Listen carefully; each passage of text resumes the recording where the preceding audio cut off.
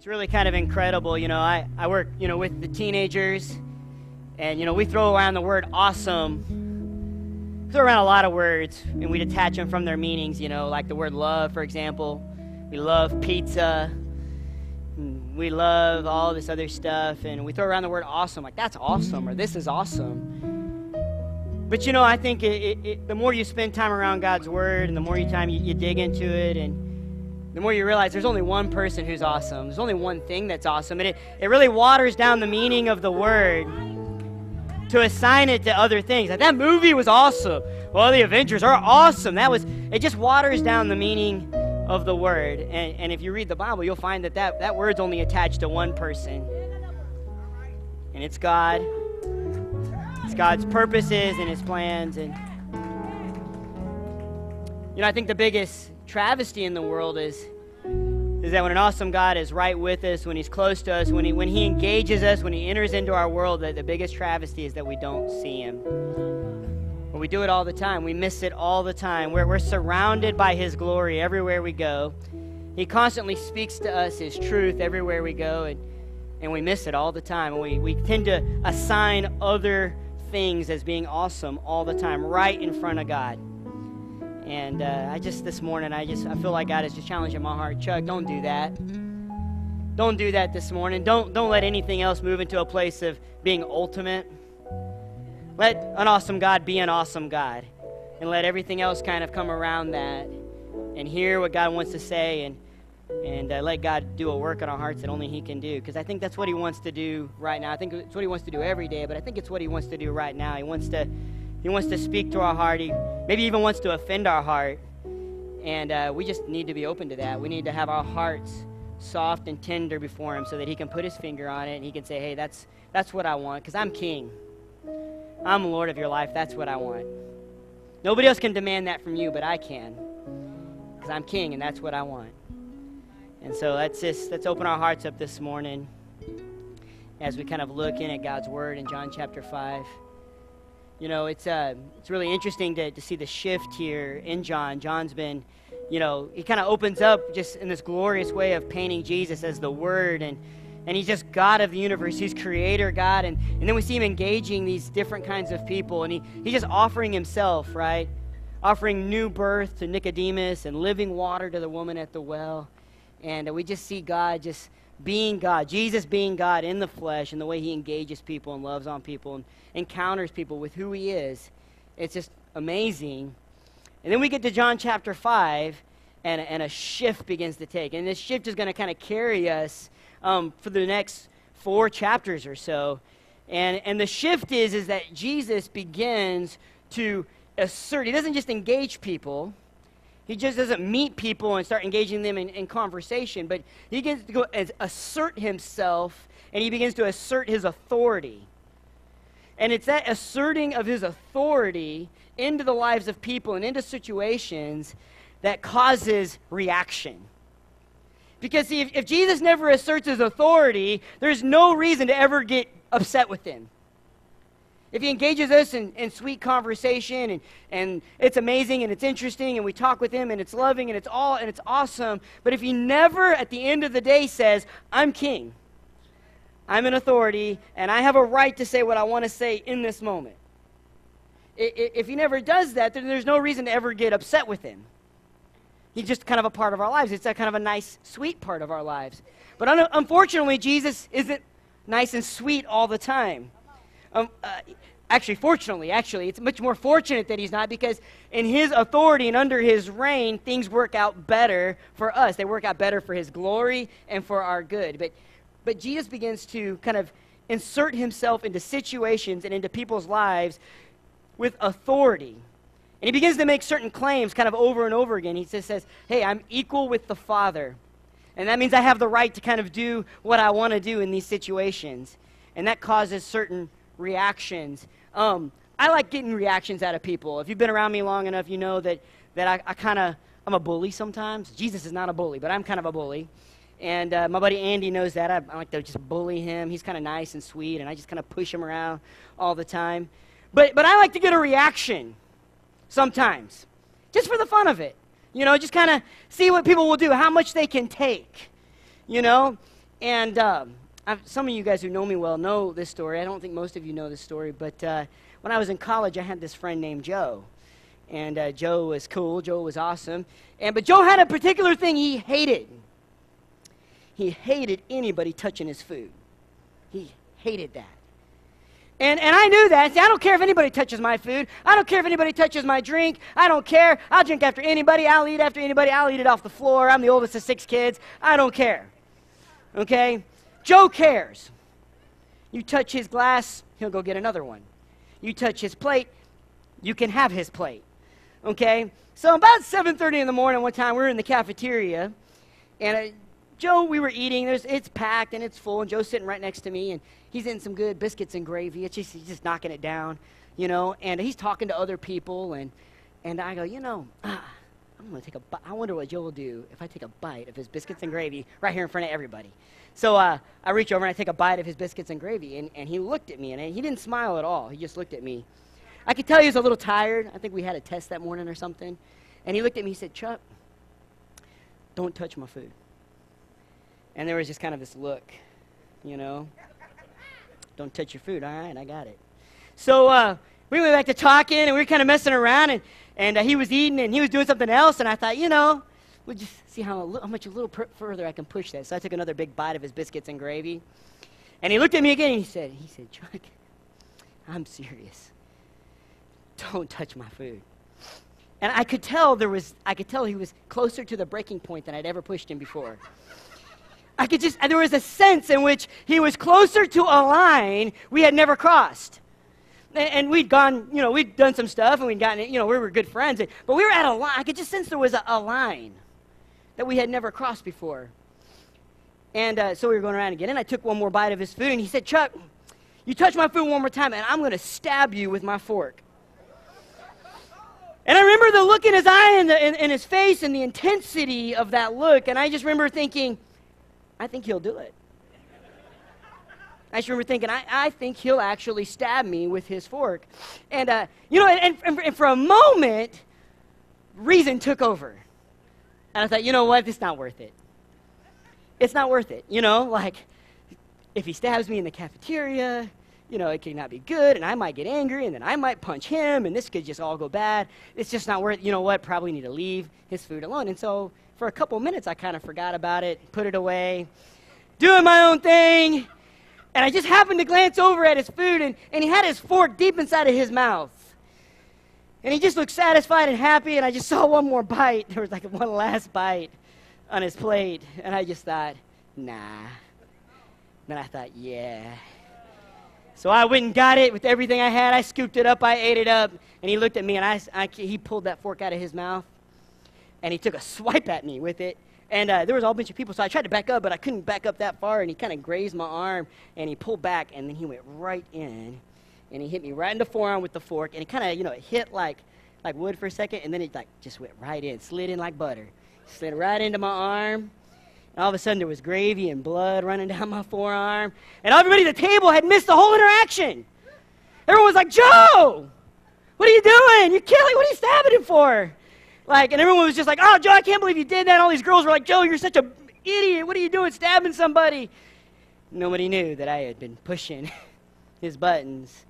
But, uh, but I was I kind of an instigator. And what's interesting is Jesus intentionally instigates a response in the passage we're coming to. Now, it's wholesome and it's spiritual and it's godly and it's not sinful in any way. But, but it's very intentional. It's very intentional, and it's with two groups of people. I want you to check this out in John chapter 5. Jesus is looking for a response. He wants to exert his authority, he wants to act in a way, and he's, he's looking for a response. He's going to stir up a response. John chapter 5, this is um, the healing at the pool at Bethesda. And after this, there was a feast of the Jews, and Jesus went up to Jerusalem. And there was in Jerusalem by the sheep gate a pool, in Aramaic called Bethesda and it had five roof colonnades or five roofed porches.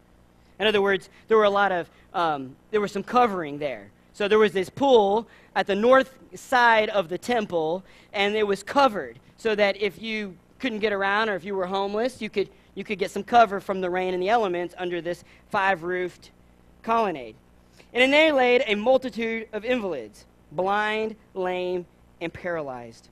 And one man was there who had been an invalid for 38 years. When Jesus saw him lying there and knew that he'd already been there a long time, he said to him, Do you want to be healed? We're going to come back to that in a second.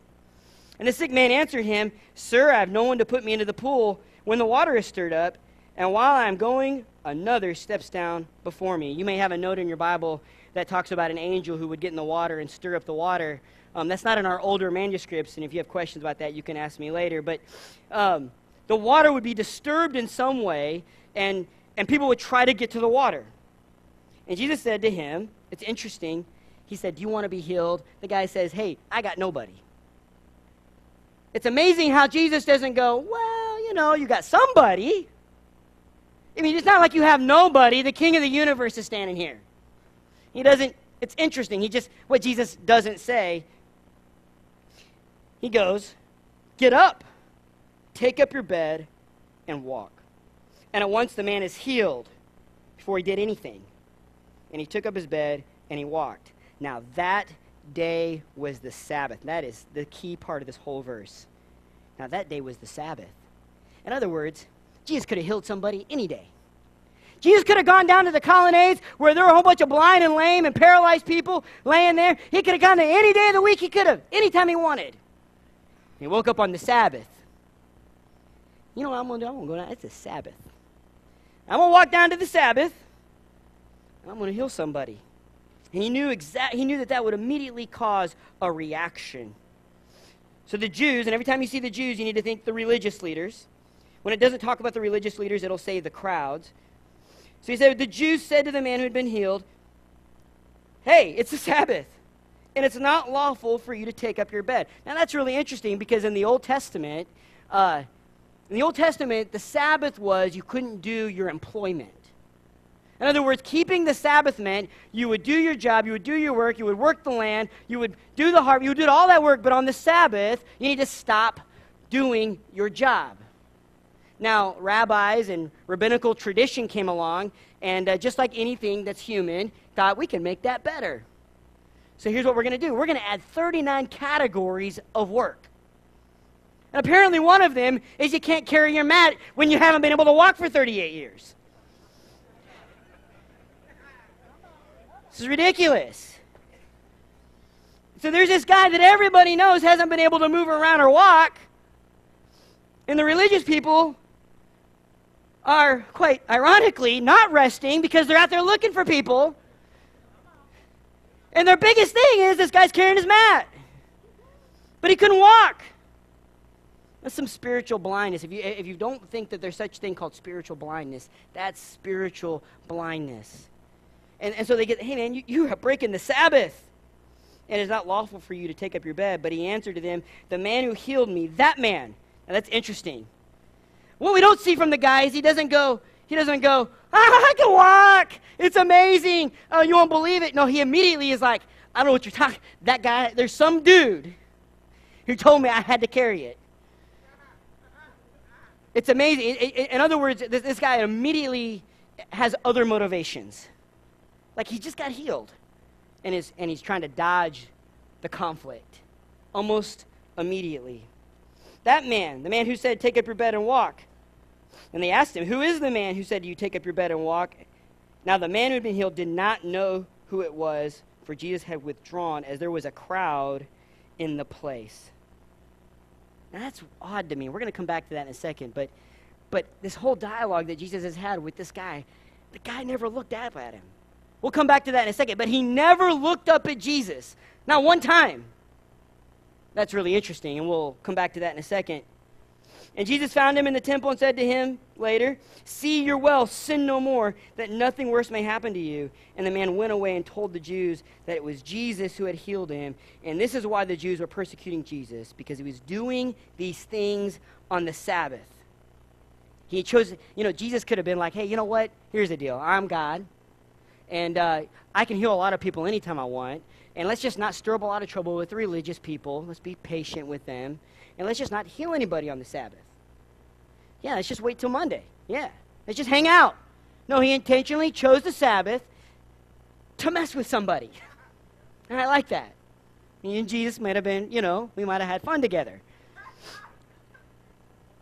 You know, we might have we might have got along, and then he would been like, "Okay, Chuck, now that is wrong. You can't push him like that."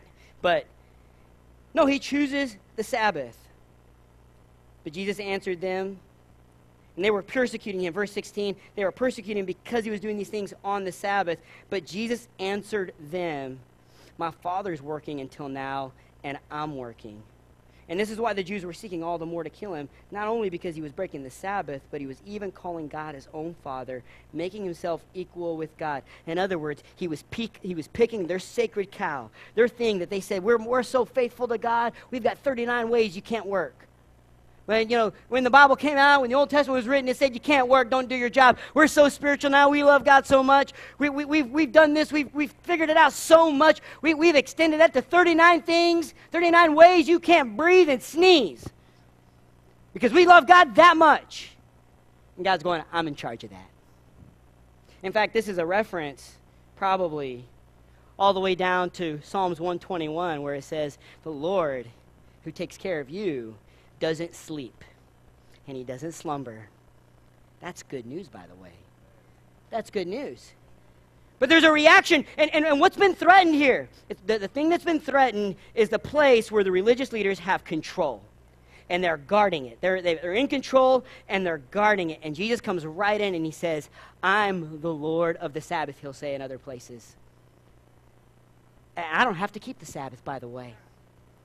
See, that's good news because, see, the Sabbath is created for the man, not man for the Sabbath. The Sabbath is a reminder to every human being who's broken and sinful and that we have to sleep, that we have to rest, that we are not sovereign, that we are not in control, that we can't go and go and go and go and go and be productive every day of our lives.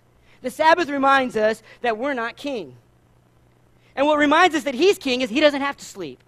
He only slept one time, and that was in the day seven of creation when it said he rested after all of creation. It's the only time we have in the whole Bible where it says that God rested. In fact, if you flip over to Psalms 127, it says that, hey, if, though you try to build your house on your own, you're doing it in vain. If you toil and labor and get up early and go to bed late, guess what? If I'm not working, nothing's going to happen. And then it says, but the Lord gives those he loves rest.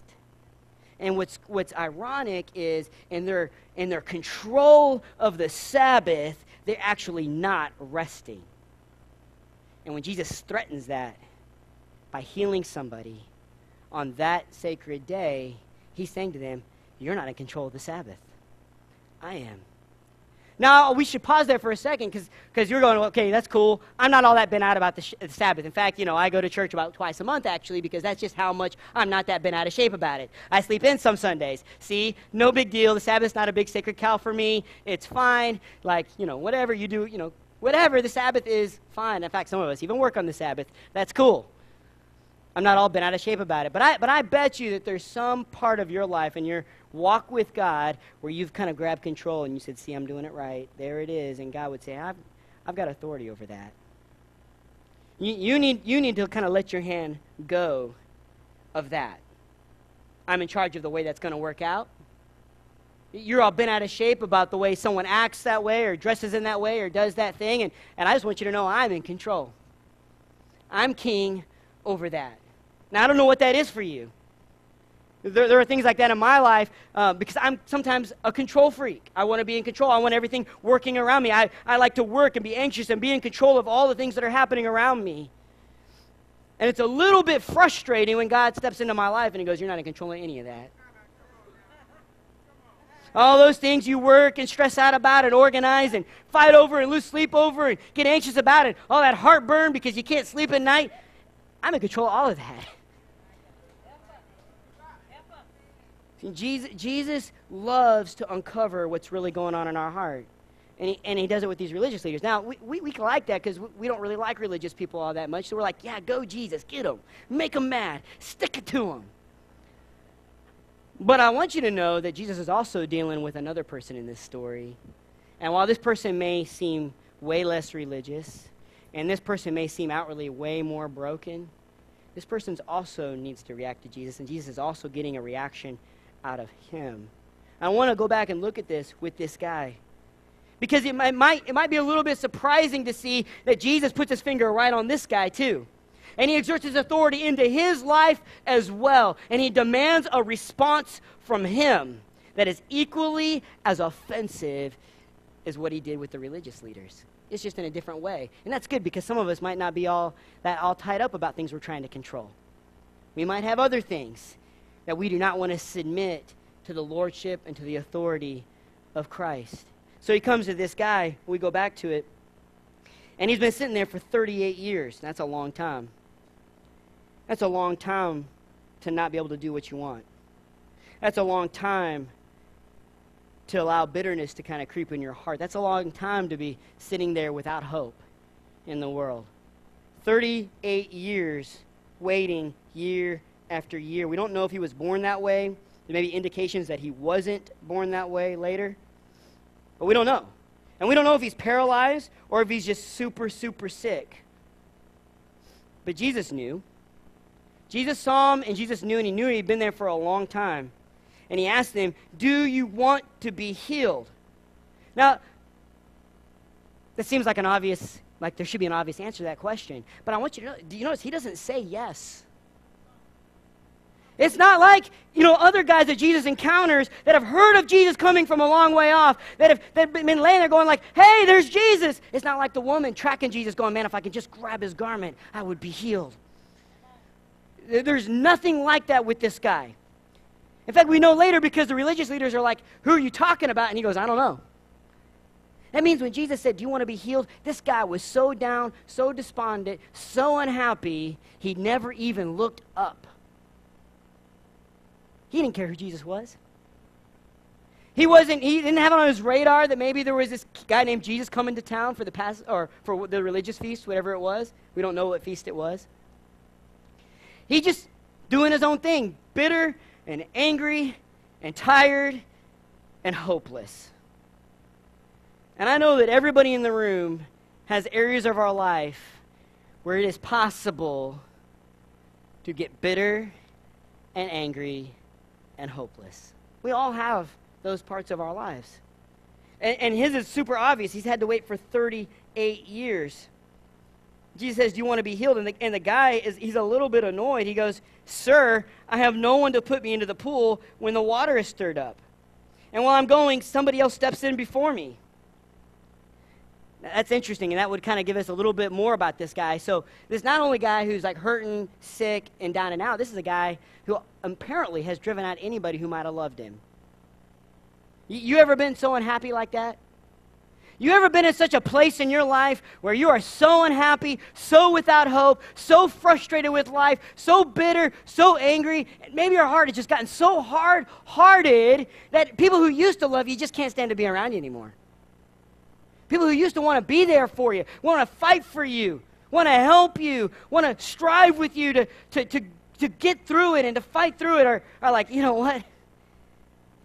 You just, why don't you just mope on your own now?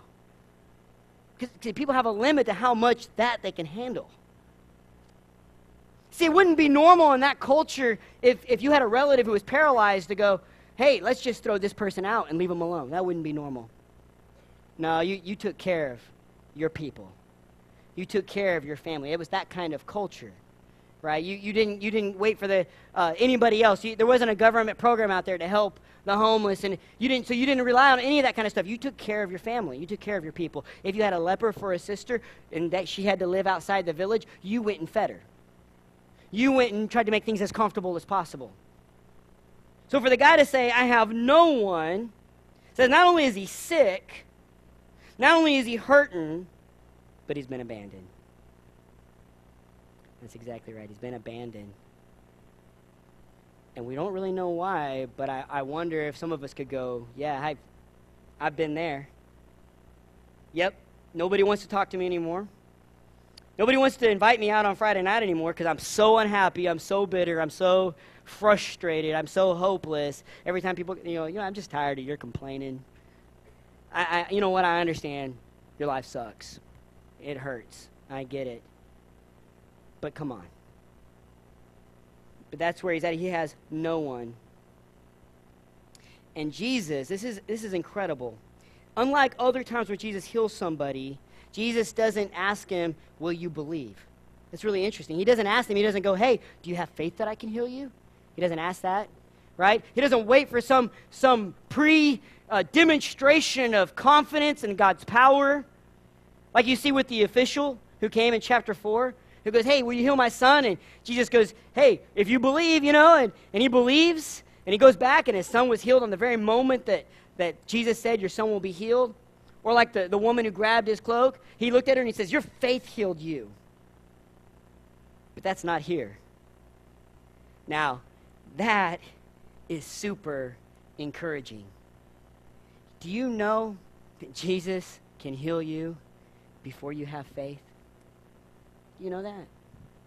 You know that Jesus has so much grace for you that he doesn't have to wait around for you?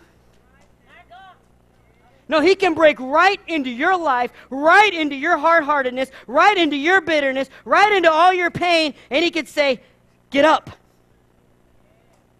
Before you ever had one word of faith. By the way, that's the gospel. Ephesians says, when you were dead in your trespasses and sins, he made you alive. That's the gospel. That's what happens in the gospel.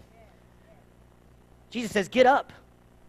And he didn't activate by some faith by trusting he could get up. He was healed. He knew he was healed. He never he didn't move a muscle. He was healed and he was like, I can get up. That's awesome. And that's encouraging. And that's grace. That's grace, and that's beautiful, and, and that would be all super happy if that's where the story ended. Except Jesus still wants to exert, even in this moment, and even with this man, his authority. And we don't like that very much, but Jesus is going to do it anyway. And we have to come to grips with that because it's exactly what Jesus is going to do in our lives every day as we follow him. He's, he's going to speak into our lives and he's going to go, I'm king right there. You've got to give that to me. Nobody else has the right to say, stop that, but I do, and I'm king. It might even be wrong. Nobody else can even say it's wrong, but I say it's wrong. It's mine. And Jesus is going to do that with this guy. You see this guy, he gets up, the Jews confront him. He says, I don't know who you're talking about. I never even saw him, never even wanted to talk to him, but now I can walk. It's awesome. Right? And Jesus finds him in verse 14. And, and, and if you can just step out of re- being a religious person for a second and just listen to this as someone who maybe read the story for the first time, check out how offensive this would be unless you just know how true it is. Verse 14 Jesus found him in the temple and said to him, See, you're well. Sin no more. Do you know how offensive that is to my heart? Implication? You're a rotten, dirty sinner, Chuck. And I have the right, as King Jesus, to say, stop it. That flies right in the face of our whole culture. And I don't think just our culture, I think any culture. I think anywhere you go, anywhere in the world, sinful heart does not want anybody to tell me what I can't do. Or anybody to tell me that maybe some of the pain I've been walking through is my own rebellion. Says, See, you're well sin no more, that nothing worse may happen to you. Now, does that mean that he was sick and broken because of sin? We don't know. Is that possible? Yeah. Now, as Jesus answers this question all the time, in fact, he's asked later in chapter 9, they run into a blind guy, and uh, Jesus says, you know, his disciples go, hey, there's this guy, he's blind, he's been blind since he was born. Is that because he sinned or his parents sinned? And Jesus goes, nah, it's not because he sinned, and it's not because his parents sinned. He was born blind. Why? For the glory of God to be demonstrated. Okay, so just being born blind or being sick or having pain in your life is not automatically because of sin. Now, in the larger scheme of things, all pain and all suffering is because we live in a broken world broken by sin. So you could say, in a larger picture, that's always true. There's going to come a day where there's no more sickness and there's no more brokenness and there's no more suffering and no more pain. That's because God's going to eradicate sin on the last day. But even today, if someone's struggling or someone's hurting, none of us have the right to look at that person and go, you know, if you would just shape up, you wouldn't be hurting like that. We got to be careful about that. Jesus says, no, you can't do that. You can't look at somebody in pain, someone suffering, and go, yeah, I bet there's some sin cause that. God's bringing it down in you. But see, that's what Job's friends said to Job, right? Surely you sinned somewhere. Surely you, you were somewhere where you, you just didn't do it right, and God brought all this suffering to your life because really deep, deep, deep down, you're a dirty, rotten sinner, Job. Okay, so we can't, we can't go around going, hey, you're hurting, you're suffering. I bet it's because you're a sinner. But we also don't know the heart like Jesus does. See, Jesus has the right to exert his authority into this man's life. And he has the right to say to him, hey, sin no more, that nothing worse may happen to you. In other words, sin may have contributed to this, or it may not have, but you're a dirty, rotten sinner. You're, you're broken. You're messed up. There is rebellion in your heart. You are not some wholesome, faith filled guy. And again, that's super encouraging because I'm no better than that, and you're no better than that. We're not the heroes of the story. We're the broken, lame, paralyzed, blind people in the story. And except by the grace of God who comes up to us when we were his enemies, Ephesians says, he came to us when we were his enemies and called us alive, showed us love, and redeemed us. And he has kingly authority to say to us, Go and sin no more. That right there, you got to let it go. It's mine. That anger, it's mine. That lust, it's mine. Those things that you say, well, that's just my preference. I can do what I want. It's my choice. It's mine. I'm king. Nobody else is king over your life. But Jesus is king over your life, and he speaks clearly through his word. And what will we do when he exerts his authority? What will we say when he steps into our lives?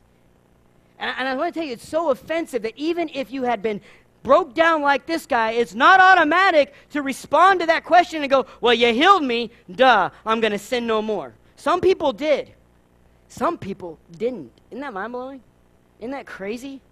Some people were healed by Jesus, told to sin no more, and went and became an informant. In fact, that's what this guy seems to do. In fact, he doesn't respond at all to the claim, the, the, the command by Jesus to sin no more. No, he says he went away and he went straight back to the religious leaders, the Jews. And he said, Yeah, the guy who really broke the Sabbath, you were kind of getting on to me because I was carrying the mat. But please don't get on to me because the guy you really need to get is Jesus. I actually just found him. I hadn't talked to him earlier because I was doing my own thing, wasn't really paying attention. Kind of super excited. I was walking now. I don't really care who did it. But now I know if you want to get him, he's over there.